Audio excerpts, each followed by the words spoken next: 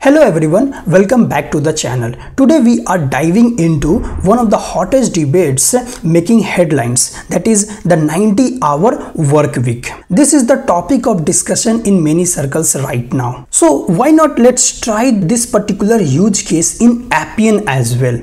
So let's say that in Appian if you have to analyze the data, how would you do that? Let's assume that you have been given a task to analyze how many hours each employee is working. You need to find that who is overworking who is underutilized and all. To do this I have created a task table here. As you can see here in the task table the very first column is the ID then assigned to is there which is basically the name of the employees then the name of the task are there and these are the different task status and then there is a start time and end time. So mainly three status i have considered here. That is not started in progress and done. That is one two and three. So if you see here one means not started. So start and end time both are null. Two means in progress. That is start time is there but there is no end time. And three means done. Means start and end time both are present here. Now using this table, we have to know that how many hours each employee is working. And finally create a dashboard something like this one here. So here i have tried to create a dashboard. You can see here task summary. Like how many total hours we have worked? What is the average hours per employee? That is 53 hours. And who is our top employee? So you can see here john smith is our top employee. He has worked 81 hours really.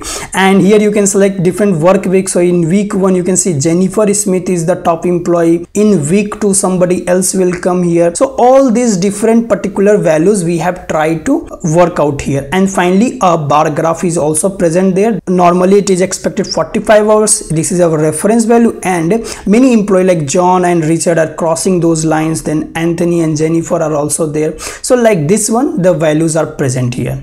Now let's try to create this interface from scratch. The very first thing that you have to do here is go to your record. So here I have created a record type here.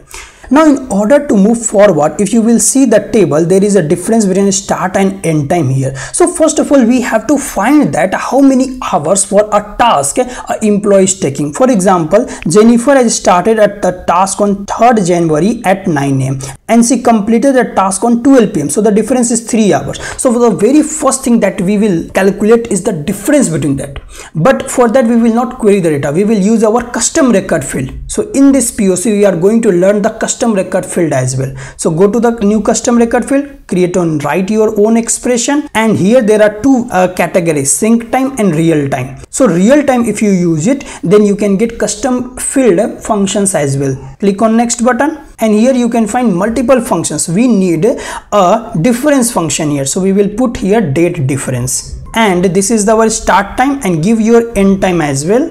Now here I have provided the end time as well. But instead of the interval day we will take it here hour. So this will give us like what is the difference between start time and end time? Give the record field and name it here as duration. Click on test and it will give you all the particular data. So if you see here here task number three it is given three hours here three somewhere four. So like this. Click on create button and now our real-time custom record field is present here. The next custom record field that we are going to create for the week number. So in which week that particular task was completed we will try to create that. So go to again new custom record field write your own expression and this time we will choose sync time evaluation because for week number we have to use appian functions not only the custom record field function here. Click on next button and here we will write here week num. So this function and the date we have to write it. So for date we will use here to date and here we will try to use rvbang record dot end time.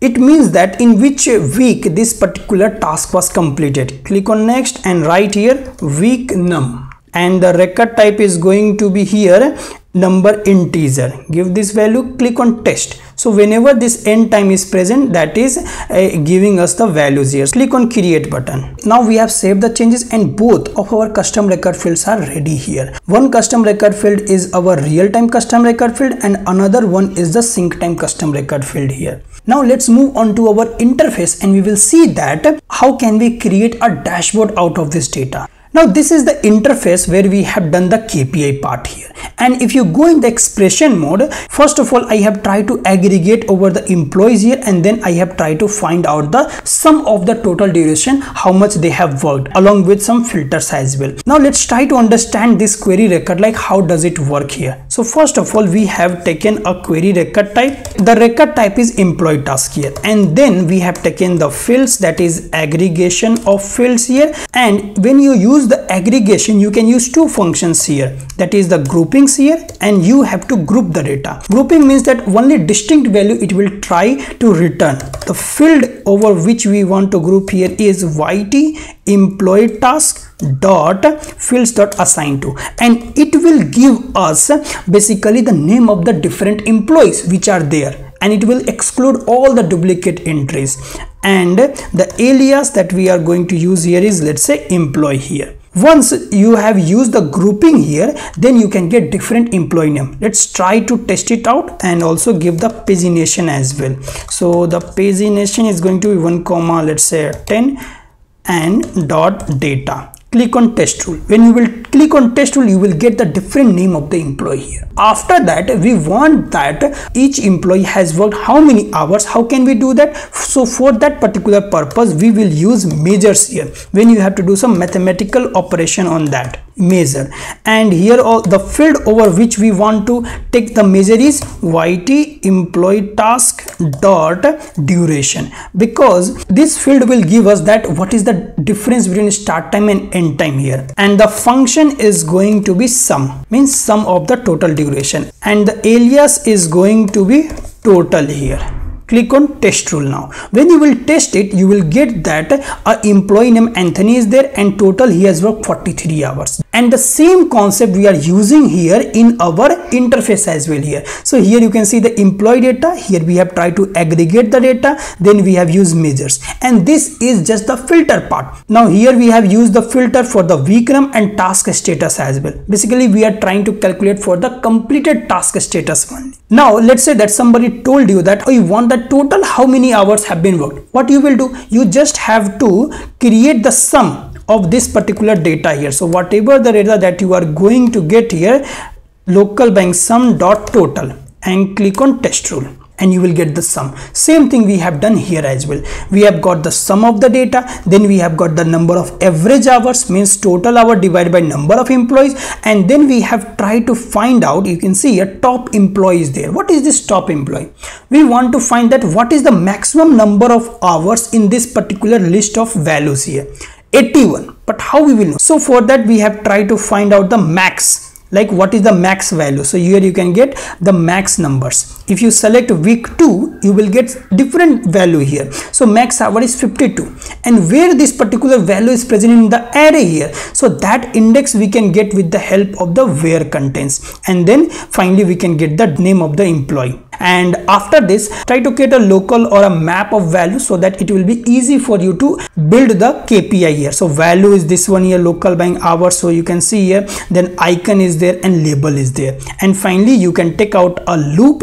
You can see here this here we have taken a loop for each kpi value. Here we are using fv bang item dot icon label value. That's it. So here we can build out our kpi so that's how the KPI works. And now let's see how the bar chart will work here. So for that, we will take a bar chart here and in the bar chart if you go to the design mode select the source as record type here. So yt and in the record type you will get you will see that automatically it has given us all the employee names here. So primary grouping is already assigned to here. And now in the measure part we have to do the same thing that we have done here.